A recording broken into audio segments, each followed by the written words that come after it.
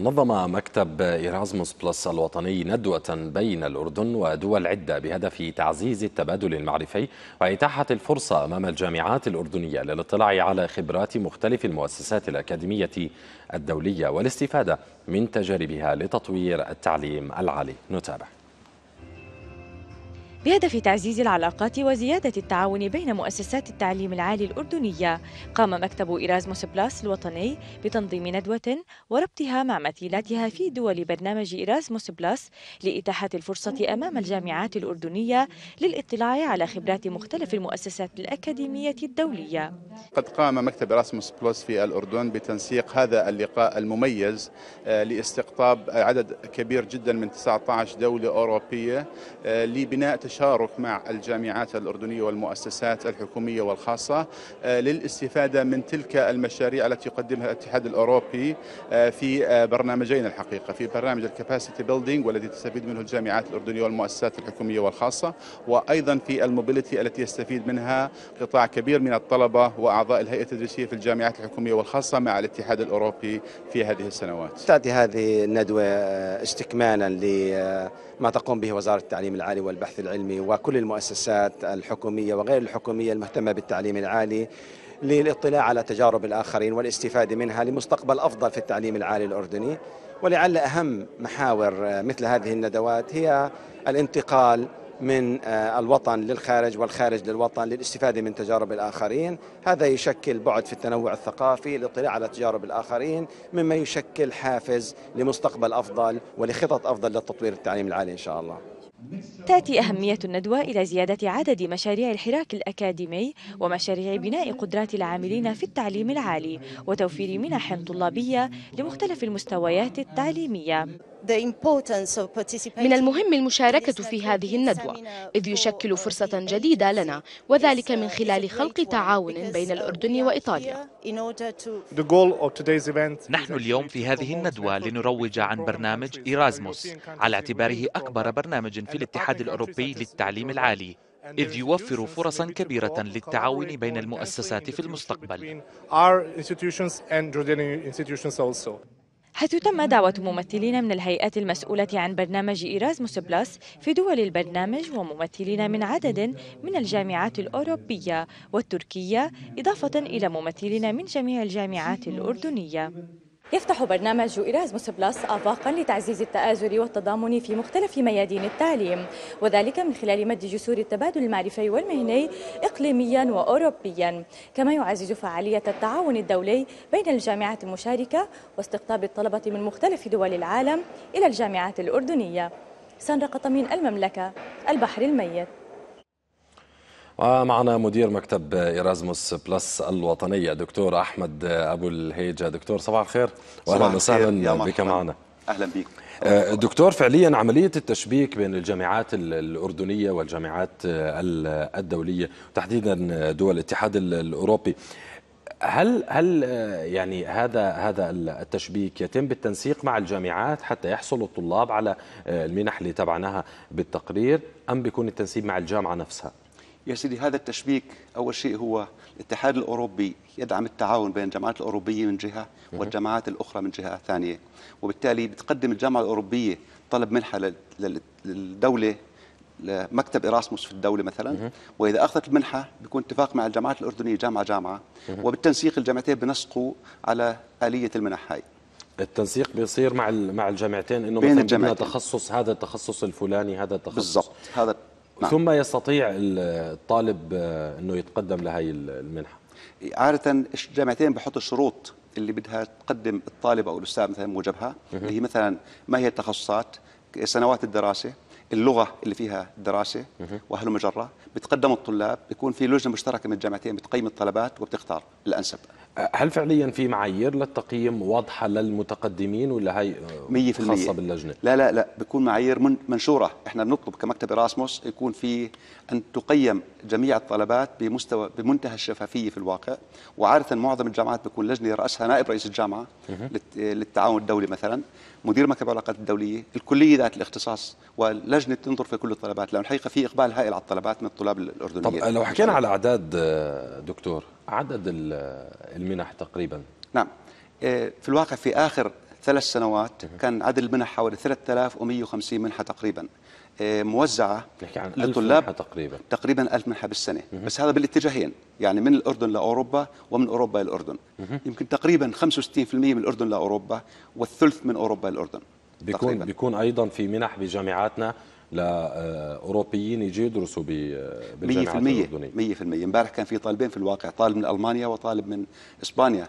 أيضا عملوا برزنتيشن عن خبرتهم في الأردن وكان شيء رائع جدا في الواقع. بالعادة بدرسوا عربي دكتور الأوروبيين لما يجوا ولا والله؟ مشكلين مش, مش شرط. يعني أحد الطلبة اللي يتكلم بالأول مثلا طالب إسباني أها. وبدأ يتكلم باللغة العربية ويقول أنا أدرس الترجمة من الإسبانية إلى العربية على سبيل المثال. فشيء كان ممتاز. الطالب الثاني لا مش شرط. ممكن يطلعوا يدرسوا في في ال IT مثلا في الهندسة في الأثار وهلم جره طب فعليا آه، يعني بنعرف آه، الجامعات ال- الأوروبية التطور آه، والعراقة في ال- الجامعات الأوروبية جامعات عمرها 500 و600 و1000 نعم. ألف سنة. ولكن ما ما المحفز أنه يجي طالب أوروبي إذا ما بده يدرس عربي تحديدا على جامعاتنا؟ ما هي الميزة هو في الواقع في, الجامعات في البداية في البداية كان إقبال الأوروبيين على الأردن قليل بخبيش عليك. وخايفين يجوا يعني أروح الأردن. الآن صار إقبال هائل من أوروبا. مش رح ما راح تتصور في الواقع إنه عدد لل- لل- الطلبات. للمنحه الواحده الآن بتقدم من 15 طلاب أوروبيين صاروا يجوا. لأنه تعرف بدايتها كان في شوية خوف بس لما الطلاب بدوا يجوا هنا بيتأقلموا بيشوفوا العادات والتقاليد والاحترام وال... يعني غير يعني زمان كانوا يجروهم جر على ال- كان يجرهم جر نعم.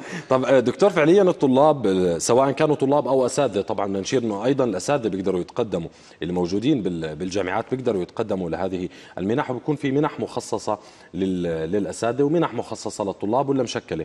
لا هو في الواقع المنح لكل من يعمل في الجامعات.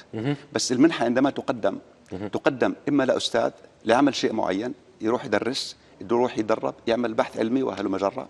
أو مثلا لنفرض مكتب علاقات دولية في جامعة أردنية ممكن يزور مكتب علاقات دولية في جامعة أوروبية يشوف كيف بيتم التعامل مع تبادل الطلاب ويجيب خبرة ويطبقها هون. فعلى كل المستويات في الواقع. طب- من البداية بيكون معروف أنه هذه المنح مثلا خمس منح لأساتذة منحتين لإداريين و10 منح لطلاب من البداية. تكون طب آه، لو لو حكينا عن المنح الدراسية التغطية إيش بتكون شاملة؟ التغطية بتغطى تذكرة السفر حسب المسافة. مثلا من عمان لفرانكفورت مثلا بيدفعوا 530 يورو خلص. محددة. محددة. فالطالب بيروح بأقل بأكثر بده يتحمل هو. وإذا وفر وفر له وإذا دفع أكثر بده يدفع منه. أو من أهله. نفس الشيء تكاليف المعيشة مثلا بيدفع 800 يورو بالشهر لنفرض. الحقيقة المعيشة مقسمة إلى ثلاث فئات الدول الأوروبية أو أربع فئات حسب مستوى المعيشة عندهم. فبيدفعوا مثلا 900 يورو في الشهر أو 800 500 الطالب هذا المبلغ. لأن وين بسكن بسكن في سكن طلابي بسكن كذا. هو كيف بدبر. حاله بال 900 بال 800 بده يشكي طالب بالأخير هو. أها. يعني مش رايح هو يتفخفخ. آه، طيب. فبيدفعوا ما. يكفي بس ما يكفي كطالب. بالضبط بيدفعوا. وفعليا وفعليا بتكون آه، هل بيكون في التزامات على الطالب لما يرجع آه، يكون مثلا يدرس ما يدرس؟ يعني بعض بعض التفاصيل الفنية. نعم. هو أول شيء بالنسبة. يعني بالإضافة إنهم دفعوا كلفه الطالب كاملة بالمواصلات والمعيشة في الواقع.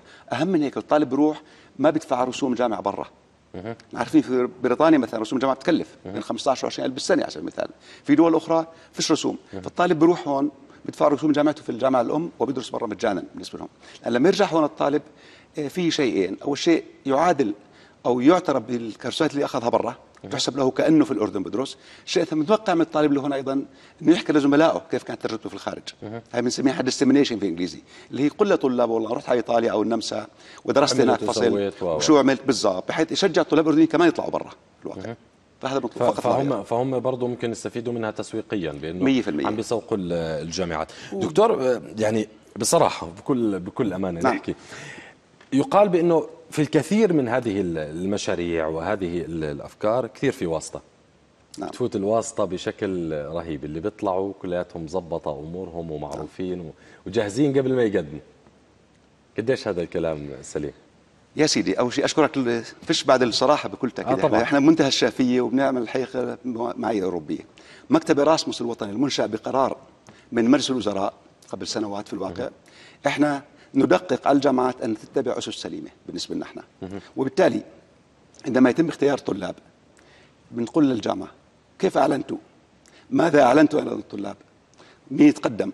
ورجوهم قائمة مين قائمة قبلهم. المتقدمين بتشوفوها نعم إحنا بندقق على الجامعات ما عليك؟ مكتبنا إحنا. لنتأكد إنه الاسس هي أسس سليمه اللي اتبعت في الواقع. أها هاي هاي الدكتور بياكد لنا انه أي واحد بيطلع عن طريق آه، إيرازموس فهو آه، مش واسطة يستحق آه، هذه المنحه وننظر في أي شكوى بيقدمها طالب إلنا إنه كان في واسطة بجامعته. ننظر فيه إحنا كمكتب.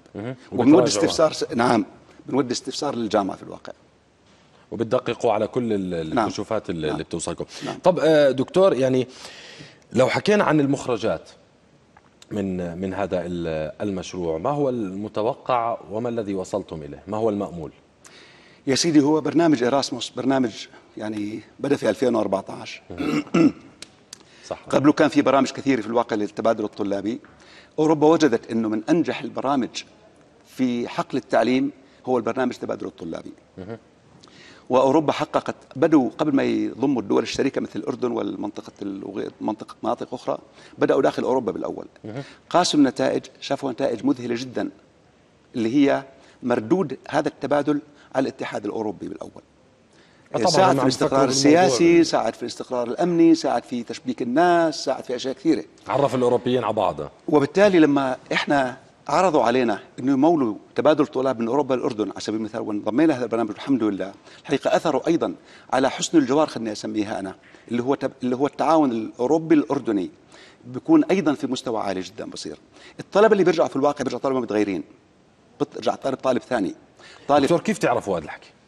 إحنا بنقابل الطلاب سيدي إحنا لما نروح على جامعة الطالب لما يرجع بترجع أنت بتشوفه وبتشوف إيش إيش اللي نعم استفاد نعم منه. نعم. إحنا لما نروح على جامعة آه اللي هو نجتمع مع إدارة الجامعة مع رئيس الجامعة نائب الرئيس مكتب العلاقات الدوليه بنقول لهم بدنا نقابل طلاب راحوا بالتعاون التبادل هذا.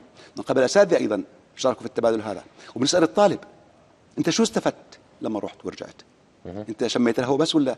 فالطلبة التأثير البرنامج لما طالب يسافر فصل دراسي كامل على دولة أوروبية ويرجع بيرجع إنسان ثاني صدقني بيرجع منتمي بيرجع بحس في المسؤولية بحس بقيمة العلم بحس إشياء كثير بيرجع بيرجع متغير.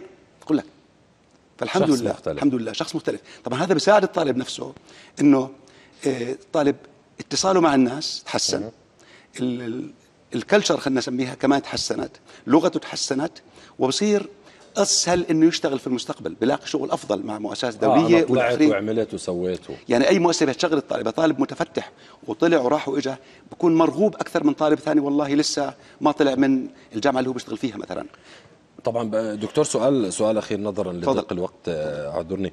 فعليا المشاركة ب- من من الطلاب وال- والأساتذة لكل الجامعات ليس فقط الجامعات الحكومية. لكل الجامعات. بس حتى الجامعة تشارك. بده يكون جامعة أوروبية مقدمة للمنحة مع جامعة أردنية بعدين يصير التبادل هذا. وبالأخير آه لازم يكون في علاقة بين الجامعتين نعم بداية. نعم.